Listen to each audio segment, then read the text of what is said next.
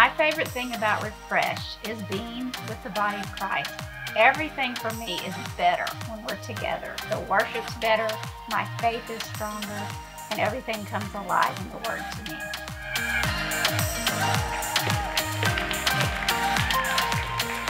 Go! That's what you get for trying to have nice shoes. it was totally worth it. Thank you. Thank you.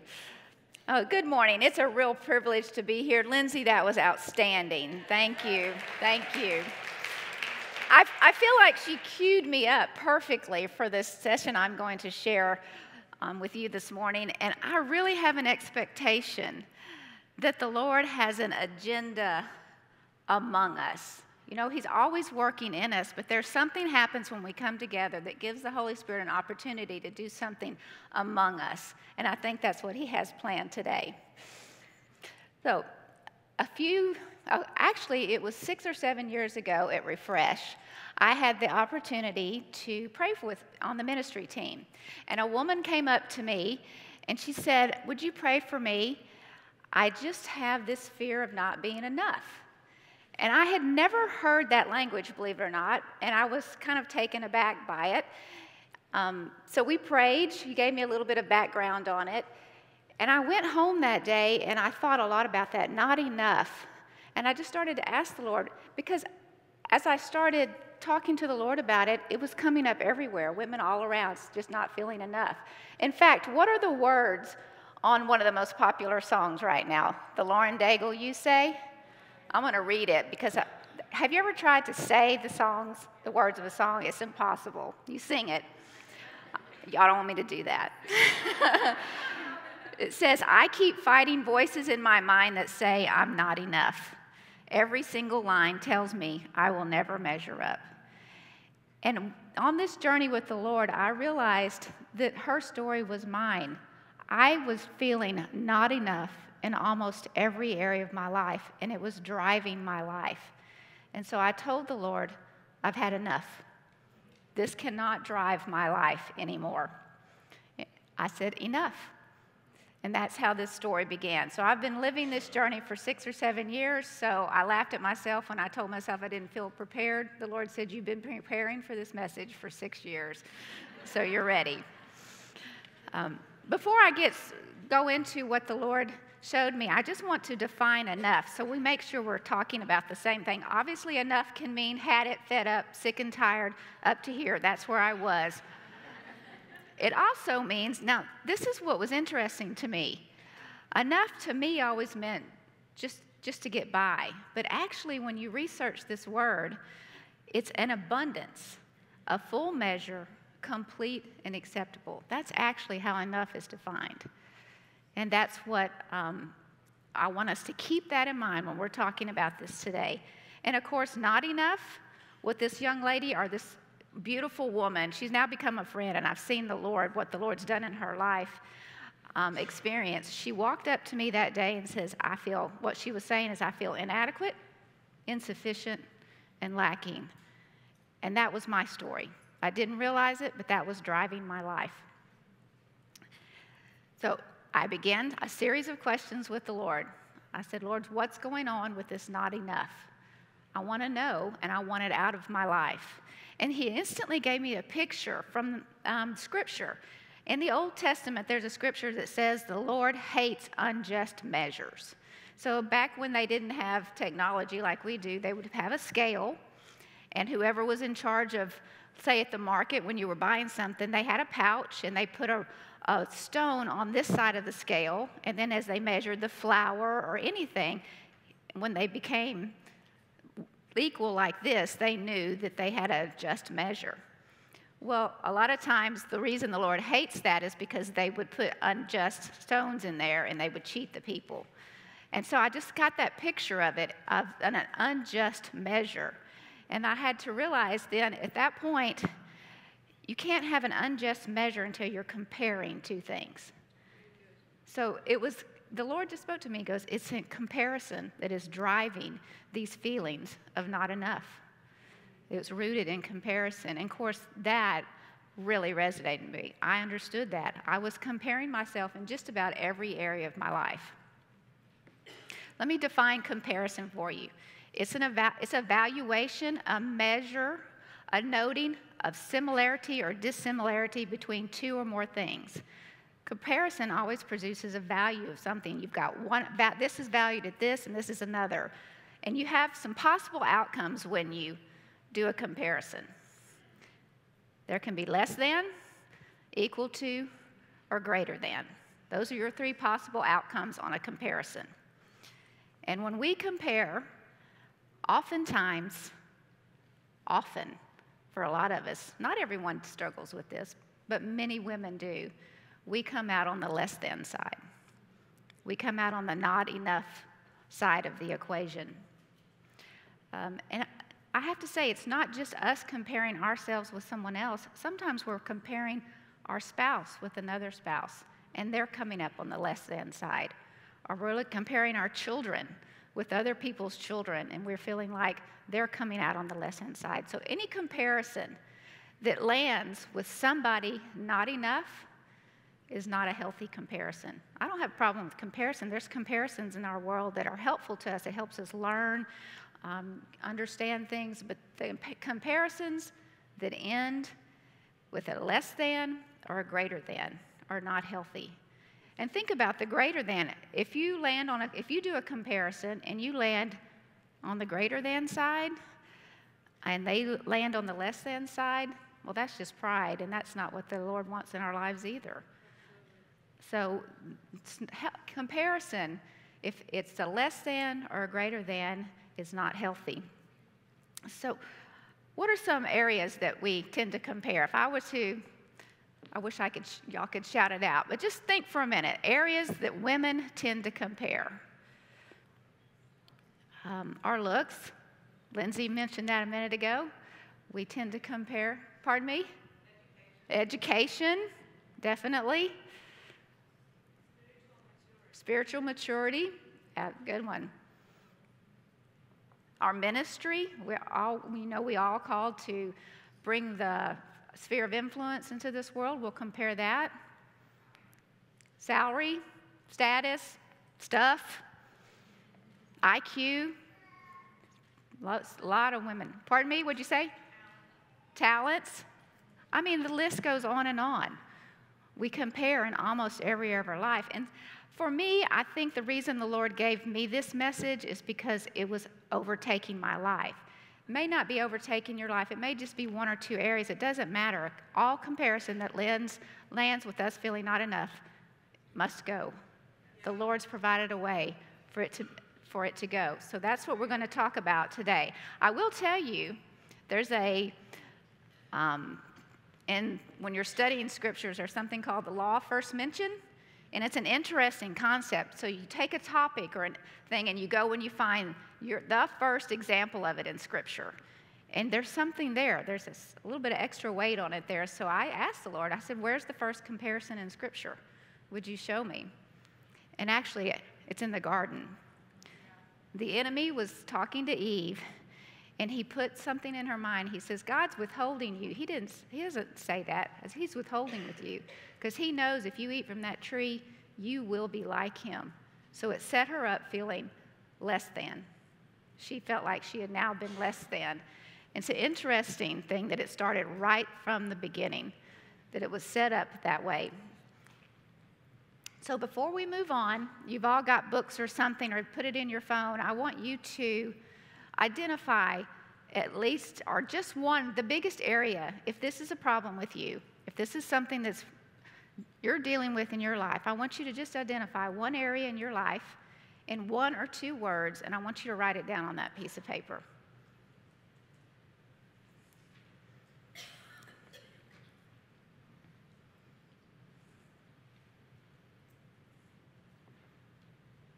Wasn't hard, was it? Here's where we're going today. We're going to take a few minutes and we're going to look at the fruit that this kind of comparison we said it's not enough, but it actually is. Um, we can look into that in detail. So we're going to look at the fruit of comparison. Then we're going to talk about the root of comparison. And then the good part, the remedy, because the Lord has provided a remedy. Well, I put together this graphic to help us understand just how comparison works. It's the cycle that we get into. So we have the comparison, and I didn't put all, all comparison, but I felt like it. But so I'm going to say, because I'm careful with alls and every and nevers, but I'd have to say most comparisons lead to an accusation. If you've got an accusation, there's been a comparison first. And I'm talking about unhealthy comparisons. And things about that, I, I can't say all accusation begins with a comparison because I'm sure somebody could think of one, but I had a hard time thinking where these wrong comparisons did not land in an accusation. And you know what's funny about that is because a lot of time these accusations do have these elements of truth in it. You kind of do see maybe you're not measuring up to who you're comparing your to, yourself to. It's not like you're not crazy. It, it is, there is a little bit. But here's what you have to remember, and Lindsay touched on this, which I love. Her scripture was better than my scripture, so I'm going to use hers. Don't compare. so even though there's those senses of yeah, I, I'm not that. And those little senses of truth in that, it says an accusation that the scripture she said is the enemy has been stripped of his power to accuse us. He is called the accuser of the, of the brethren. The gospel made a way, and I, by the way, the only thing the enemy speaks in is lies. Every accusation's a lie, but he's been stripped of that power. But you say, well, Robin, kind of looks like maybe this accusation is true. God made a way for the accusation to be canceled through the blood of Jesus. It doesn't mean we just go and do whatever we want because every, every time we mess up, the Lord covers it. It's just saying He has no more power to accuse us. So any comparison that leads to an accusation is illegal. I'll read my scripture since I'm not supposed to compare. he says, But now he has reconciled you by Christ's physical body through death to present you holy in his sight without blameless, I mean, without blemish and free from accusation. He, he has no right to accuse you anymore. Now, the accusation comes, let's say, and I spent a lot of time believing those accusations. But actually, they have no power until you agree with them. An accusation can come and you can cut it off right then, but it's when we agree with it that gives it its power. Praise God, the truth, the opposite of that is always is, is true as well. The truth we believe we empower. So when we start to agree, so the agreement is the third part of the cycle, when we start to agree with this accusation, now it begins to define us and we start to see ourselves that way. And it leads to this, and this is where I lived right here, to the area I'm going to do better. I'm going to try harder. Whatever was, I t- my sister was, man, she was my comparison. She was a couple years older than me, about the time in life when you're starting to really kind of pay attention about who you are. I was in sixth grade. She wins this most beautiful contest at school. I'm like, huh. Didn't think much about that. And then a couple of years later, and she was very popular with the boys, obviously, um, very smart. And a couple of years later, we're both graduated, and um, she starts off on this career track that just blows me away. So, this became a very sensitive area for my life. I was constantly comparing and measuring my career to her career. And that will lead you and I began to feel less than, not enough, and that leads you into trying to do better. And I call it the four P's. I went into pleasing, perfecting, producing, and performing. This was the this what drove my life. Because if I could, didn't measure up, by golly, by the sweat of my brow, I was going to measure up. I was going to do better. But what happens when you're trying to do it in your own strength I'm not, I'm all for accomplishments and things like that. But what is it when you're trying to do it in your own strength? It leads to what? Burnout, exhaustion, frustration, hopelessness. Just, uh, it's a, not a fun place to live. And so the cycle starts all over again. You're trying to do better in your own strength. you fall short, another comparison comes, and now you're on the hamster wheel, I call it, of comparison. It just goes on and on. So I want it off. And let me tell you, the gospel has a solution for every part of this, every single one. We talked about how we can, um, the gospel does away with accusation. We can choose. What if we have agreed with it? The gospel still provides a way. Be transformed by the renewing of your mind. You can take those lies and replace them with the truth. Doing better, this is the message of the gospel. We've been called to rest in Him and let Him work through us. I, I love, love accomplishing things. I really do. But when you, and we've all been given good works to do. It said in Ephesians 2.10, before um, the foundation of the world, that he knew us. And then in Ephesians it said he had prepared good works in advance for us to do. But when those good works are done trying to per- perfect and please and perform, they just become dead works. And that's not what God had planned for us. He wants to partner with us so that the fruit in our life comes from our union with Him. So the gospel will handle every area of this treadmill. But here's what I asked the Lord I said, I want off the treadmill. I don't want to have to manage the treadmill every day. So I asked him, I said, What's the root? Will you show me the root of this situation? Because that's what I want to go after. I want comparison out of my life. Because I've been told a thousand times, don't compare, and I was still doing it. So I asked him, and he said, Robin, your desire to feel valuable and significant is driving comparison. That was the root issue. We all want our life to matter. And we should, because it does. But if a sense of value and significance comes from how well we perform it will never be enough. Never. It will never be enough. It's not our accomplishments that make us significant in value, it's His accomplishments. Somehow, I had this wonky, worldly perspective. I don't know where I got it of significance. And the Lord told me, He says, Robin, you need a heavenly perspective of significance. He says, The Spirit Himself testifies with our spirit that we are God's children. Romans 8 16.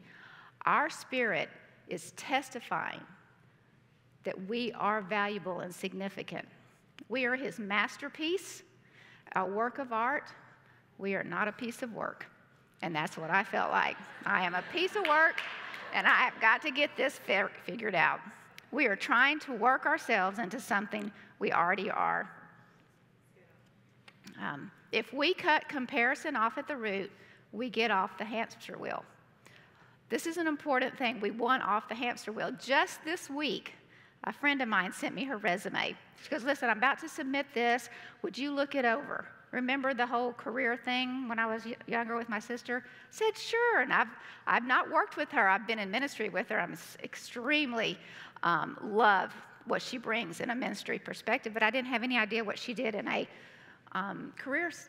So I get a resume and I'm opening up and I'm starting reading it, and I can feel this rising. I mean, it was impressive, and it's like I had one foot on the hamster wheel. you know? I was ready to jump on because this was an impressive resume, and I was doing the comparison thing. Um, and I, stop, I was able to stop myself because the Lord has brought me to a place where I understand my significance and value. And that's where we're headed on this. We're going to talk about the remedy. We want to take comparison and pluck it up at the root. Listen, look, listen to Luke 17, 6. And this is not on the slide. It says, The Lord said, If you had faith as a grain of a mustard seed, You might say unto this sycamine tree, Be thou plucked up by the root, and be thou planted in the sea, and it will obey you. I don't know about you, but I'm sick of mine. Are you sick of yours? I want to pluck it up at the root, cast it into the sea, and it will obey me. So here's what the Lord said I said, What's, what's the remedy, Lord? And he said to me, as clear as I'll never forget where I was sitting, he says, Robin, it's impossible to compare one. I said, what, what do you mean by that, Lord? I knew there was something there. Remember when we defined comparison? It's a value between two things. He says, you need to, t- you need to really investigate in my word what it means to be one with me and one with the body. Our oneness, it's our life union, keeps is the remedy for us comparing to one another. If I find, if in, in you I find my worth, in you I find my identity. Remember that from that same Lord, Lauren Daigle? So, well, I want to, I couldn't believe it. So I was thinking, I know identity is always part of what we're talking about. So I went to the dictionary. And I said, Lord, I need a new word for identity. I want a new word for identity because um, we've heard it so much, it's so important, but I want to say it a different way. And I went to the dictionary, and guess what the word was? The definition oneness. Our identity is oneness oneness with Him, one body, one spirit, one mind. God's plan all along has been to make us one. If you read John 17, this is the prayer Jesus prayed the night before he went to the cross. Go read it. You know what's on his mind? One oneness. Lord, make them one as we are one. Lord, I've shown them your love so they can be one. Lord, I've made them one so the world can see. It's oneness is the Lord was the Lord's plan to stop this comparison. Let's look at the scriptures, and there's so many. 1 Corinthians 6:17 says, "But whoever is united with the Lord is one with him in spirit." 1 Corinthians 3:16, "Don't you realize that together you have become God's inner sanctuary, and the Spirit of God makes his permanent home in you. God's inner sanctuary is holy, and that is exactly who you are. I want to talk to you just a little bit about the second scripture. Don't you realize that you have become God's inner sanctuary? In the temple, there was the outer courts, the holy place, or I forget the, y'all probably know it better than I do, but the most holy place was the center of the temple behind the veil where the Ark of the Covenant was. It was the most holy place. In Scripture, the word for it, it was N A O U S, Naos, something like that. And that is the word used here. God has deemed us the most holy place. This just blew my mind. We, it almost feels irreverent a little bit to me when I first thought of it, but that's who he says we are. We are the most holy place. And the reason we are is because he came and gave us life union with him. That's how we can be the most holy place. The Holy Spirit came and took up residence in us. When we were born again, we were crucified with Christ. We were submerged in the body of Christ, sealed by the Holy Spirit, and He came and took up residence in us, and we became one with Him. We are the most holy place. And how much more significant and value can we get than to be deemed the most holy place? And it's all because of our union with Him, what He accomplished, not what we accomplish. Our significance is a relationship, not our accomplishments. He longs for us to see our significance from His point of view. I will tell you this when this revelation started to just percolate in me, and I began to see myself just so humbled that this is who we are, that we're now the most holy place. The veil has rip, been um, ripped. We have full access to the holy place, and He calls us His temple. When He says, You are the temple of the Holy Ghost. He's saying, You're the most holy place. You are where my spirit resides. I was thinking about that one day, and I had this issue that I, I had a, a situation going on, and I, I just had a, a narrative in my head that just was not godly. It just was not, it just didn't, it was just not helpful. And I knew it wasn't, but it, it was a bad situation. It was, the thoughts were kind of feeding the old flesh. And the Lord says, um, that doesn't belong here. And I'll never forget that. I said, You're right. That doesn't belong here. Those type of thoughts don't belong here. And so anytime those start to come up again, I just say, wait a minute, that doesn't belong here. I'm not going to think that way. I'm not going, it's just not who I am. I think to note to, it's a very, for me, a life changing revelation that the Lord sees me and you valuable enough to make us the most holy place. And it has to be one, for one, only one way that He can do that, and then that's through his, our union with Him. This is the great mystery that He's talking about. Remember, the, the husband, the man shall leave his father and mother, and the two shall become one. Paul says this is the great mystery, but I'm talking about Christ and the church. This union is the mystery that's been revealed, and that's who we are. Not only are we individually the most holy place, but together we're built up into the most holy place. For, one, for by one Spirit we were all immersed and mingled into one single body. God has carefully designed each member and placed it in the body to function as He desires. You are the body of the Anointed One, and each of you is a unique and vital part of it. I want you to look at this. So, you are the body, and then each of you is unique. There's an interesting thing about the word you. So, in the Western mindset, I know we, we think this, when, we, when we're praying and reading, we tend to have, and we're reading scripture especially, they think we feel like the Lord's speaking directly to us, and He is. But you is also very often plural in Scripture.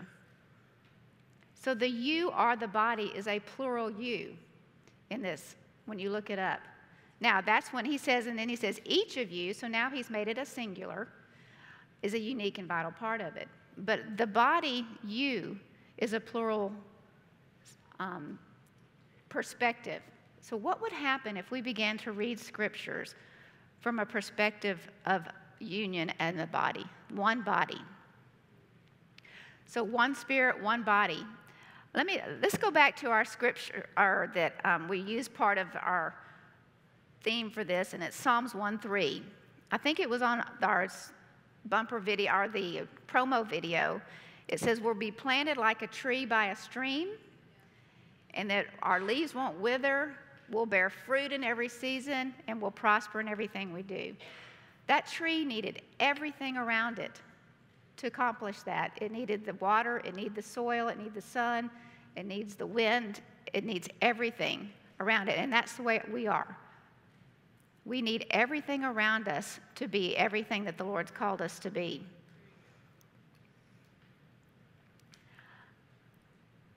If our mind shift switches and we begin to see ourselves as one with Him, one body, it just becomes impossible to compare. Why would we compare ourselves when we're one? Why would we compare ourselves when we're one with the incomparable one? This has been such a transformation in my life. It doesn't mean that, like, just like I read the resume last week, it doesn't mean that I don't compare sometimes, but I don't get on the hamster wheel and I go to the truth and I said, I'm not doing that anymore. That does not belong here.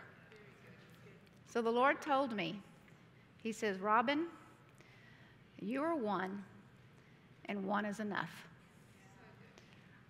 And that's what I stand on. When we understand and see how valuable we are, we won't compare. Instead, we will become treasure hunters, looking for the beauties in others. Because the enemy's strategy has always been division. Now, this is the most exciting part of this message for me. And I was hoping I'd get time to it, and I do. It's always, he has lots of he has lots of strategies to derail us and stuff, but his end game is division. He does not want us to know that we're one with each other, with him, because there's power in one. The power of one. In Genesis chapter 11, have y'all all heard of the Tower of Babel story? And I read that, and this is a people that are trying to come together and do something with the wrong agenda. They want to isolate, build big walls, big strong tower, make a name for themselves. But it's interesting, and in that particular story, the Lord comes down. So important that the Lord comes down. He says, Is, If as one people speaking the same language, they have begun to do this, nothing they plan to do will be impossible for them. This is a spiritual principle. When we're one, nothing will be impossible for us. 1 Timothy 3:15 We are God's household which is the church of the living God the pillar and foundation of truth. He calls us his church the body the pillar and foundation of truth. Pillars and foundations are what? They're there to bear weight. And the Lord has declared that he, when Jesus left and he prayed in 17, um, Luke, John 17, he says, The Lord, the, the glory you gave me, I've been given them. We have been created as a body to bear the weight of his glory. And when we're one, we're together, we have a ever increasing glory. There's nothing that will be impossible to the body of Christ as we come together and we see ourselves as one and we stop the comparison. Because what does comparison do? It stops us from saying yes and seeing the fruitfulness on the other side of yes. It keeps us held back. It stops us from celebrating others, like Lindsay said, because we're so focused on our lack. The enemy loves to keep us feeling not enough, pulled back, and not understanding that our strength comes in our oneness. Ephesians 3:10 says his intent was that now through the church the manifold wisdom of God should be made known to the rulers and authorities in the heavenly realms according to his eternal purposes that he accomplished in Christ Jesus. God's intent is for the world to know kingdom realities through his body, through us as one body. He wants them to know his nature, his heart, his good plans for them, his grace, and his love. It's God's intent that now, and I love that word there, now, and you can take it two ways. In that particular passage in Ephesians 3, the entire context before that, when God is talking about He's removed the dividing wall, we're one now. He says, if the mystery's been revealed, I've removed the division, you are now one people. And he says, now, it's my intent that through this church, that my multifaceted wisdom will be made known. That's the power of one. So, ladies, we are one, and one is enough. If you have a tendency to compare, I want you to take your little card and I want you to cross it out and I want you to replace it with one is enough. One is enough is not true with french fries and cookies, sip of coffee. It's, it, it's, just not enough. But in this situation, in the, the heavenly perspective of who we are and what we've been called to do, one is enough. You are enough. You're complete. You're full. You have an abundance. You're acceptable. You're not lacking in anything. You're not insignificant, you're valuable. He has made you the most holy place because of his union with you. So here's what we're going to do to wrap this up. I said I felt like the Lord wanted to do something among us. Oftentimes in Scripture, there's a physical demonstration of a spiritual reality. And on the way to um, Jerusalem every year before they went over for the Passover feast, the God's people would sing a song it's called a Song of Ascent. So when they were going up to Jerusalem, they would sing it. So, in just a minute, I'm going to ask all of us to stand, and we're going to re- repeat that song. We're not going to sing it. We're going to repeat that song together. But here's what I like to do Before, I want everyone in the room connected. You can hold hands, you can link arms, you can do a full body side hug, you can just do shoulder to shoulder. I want every one of us to be connected. So, you mother hens out there, look around and make sure everyone here is connected. this is going to be a physical demonstration of a spiritual principle in our lives. We're one, and we are at our most powerful when we are one. So, if you would, take a stand, get linked up.